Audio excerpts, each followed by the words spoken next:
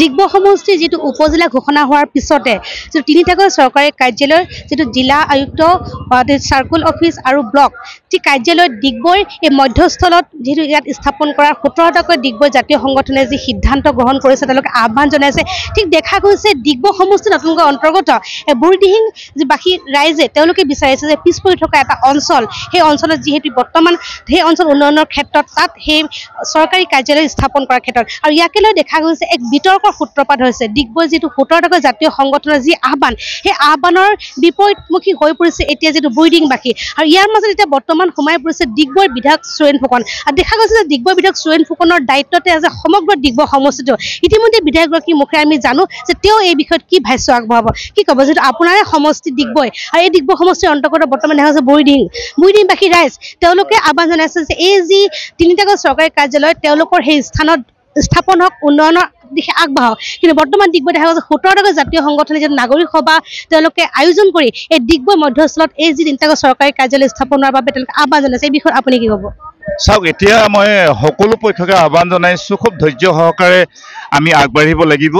আৰু নতুন সমষ্টি যেতিয়া পুনৰ নিৰ্ধাৰণ হ'ল তাৰ ফলত বুঢ়ীদিহিং মৌজাৰ পাঁচখন পঞ্চায়ত আৰু ডুমডুমাৰ পৰা এখন পঞ্চায়ত ছখন পঞ্চায়ত প্ৰায় পঁচপন্ন হাজাৰ ভোট নতুনকৈ অন্তৰ্ভুক্ত হ'ল।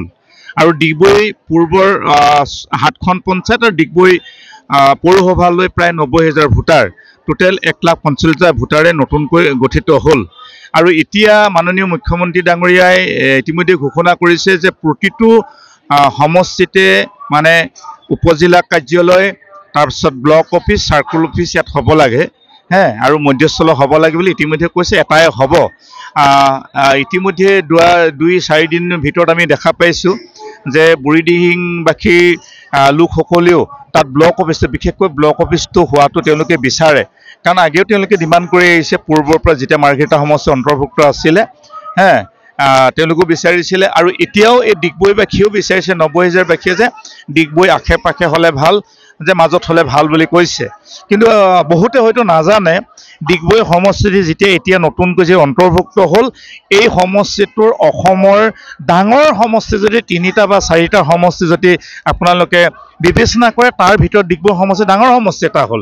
যিহেতু মাকুম বেটেলিয়নৰ পৰা একেবাৰে এইফালে পেঙেৰি বৰডুমচা কৈলাশপুৰ একেবাৰে অৰুণাচল বৰ্ডাৰলৈকে এইফালে মানে কাকপথাৰ হৈ আকৌ পুনৰ যদি ঘূৰি যাওঁ মই এটা হিচাপ কৰিছিলোঁ যে এশ পঁয়ষষ্ঠি কিলোমিটাৰ দূৰত্ব হয় যথেষ্ট ডাঙৰ। কিন্তু ইয়াত এটা ব্লক আজি যদি ডিগবৈটো বহায় তেতিয়াও বুঢ়ীদিহিঙৰ কাৰণে অসুবিধা হ'ব। বুঢ়ীদিহিঙতো যাতে বহায় ডিগবৈৰ কাৰণে অসুবিধা হ'ব।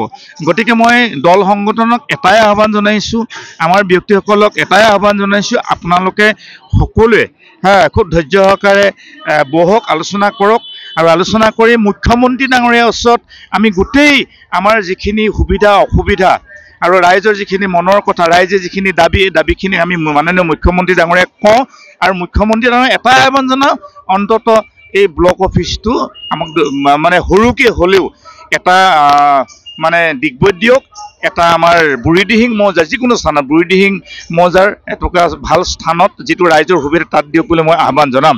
গতিকে এতিয়া সমষ্টিৰ মোৰতো সমষ্টি গোটেইখিনি মোৰ সমষ্টি আমি এটা পৰিয়াল। এতিয়া আৰু ইজনে সিজনৰ ওপৰত মানে বোকা ছটি একো লাভ নাই।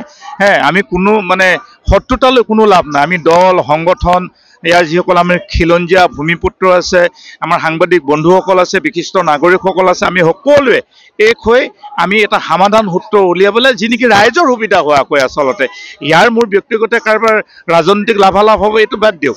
আমাৰ সমূহীয়া লাভৰ কাৰণে মই এটাই আহ্বান জনাম যে আমি মুখ্যমন্ত্ৰী ডাঙৰীয়াৰ ওচৰতে যাওঁ মুখ্যমন্ত্ৰী ডাঙৰীয়াক এটাই অনুৰোধ কৰোঁ যে আমি অন্তত ব্লক অফিচটো যিখিনি মানে আচলতে ব্লক অফিচটো সাধাৰণ শ্ৰেণীৰ লোকৰ আচলতে এটা প্লেটফৰ্ম মানে মিনি দিছপুৰ বুলি ক'ব পাৰি। কাৰণ গাঁও পঞ্চায়তৰ যিসকল দুখীয়া নিচলা অকৰা অজলা শিক্ষিত অশিক্ষিত গোটেই মানুহখিনি যিখিনি আঁচনি এই আঁচনিখিনি তৈয়াৰ পঞ্চায়তত হয় আৰু পঞ্চায়তৰ পৰা ব্লকলৈ হয়। কাৰণ ব্লক ডিগবৈলৈ আহিলেও বুঢ়ীদিহিঙৰ অসুবিধা হ'ব আৰু এই ডিগবৈৰ পৰা যাবৰ কাৰণেও বুঢ়ীদিঙলৈ এই ডিগবৈবাসীৰ অসুবিধা হ'ব।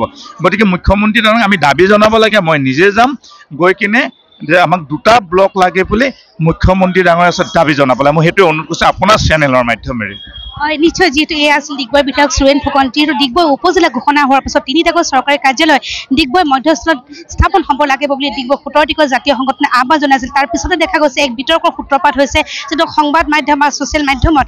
আৰু এই যি বিতৰ্কৰ সূত্ৰপাত হোৱাৰ পিছতে ডিগবৈ বিধায়ক সুৰেণ ফুকনে যিটো মুখ খুলিছে তেওঁ কৈছে যে বহু দীৰ্ঘদিনীয়া পিছ পৰি থকা এই বুৰিডিংবাসী ৰাইজৰ মনৰ যি তেওঁলোকৰ আশা যি তেওঁলোকৰ ভৰসা এই যি ব্লক অফিচ এই ব্লক অফিচটো তেওঁলোকৰ বাবেও যিহেতু অসমৰ মাননীয় মুখ্যমন্ত্ৰী ডাঙৰীয়া ওচৰত তেওঁ আহ্বান জনাব যে এটা ব্লক অফিচ যিহেতু তেওঁলোকৰ এই বুৰিডিং মৌজাত স্থাপন কৰাৰ কাৰণে আৰু তৃতীয়তে হৈছে যে ডিগবৈ মধ্যস্থলতে স্থাপন কৰাৰ বাবে। এয়া হৈছে বিধায়ক সুৰেণ ফুকনৰ ভাষ্য। আপুনি বিচৰা বাতৰি পাব কেৱল নিউজ এইটিন এপত। নিউজ এইটিন এপ ডাউনলোড কৰিবলৈ স্কেন কৰক এই Q R code Google play ষ্টৰতো পাব এই নিউজ এইটিন এপ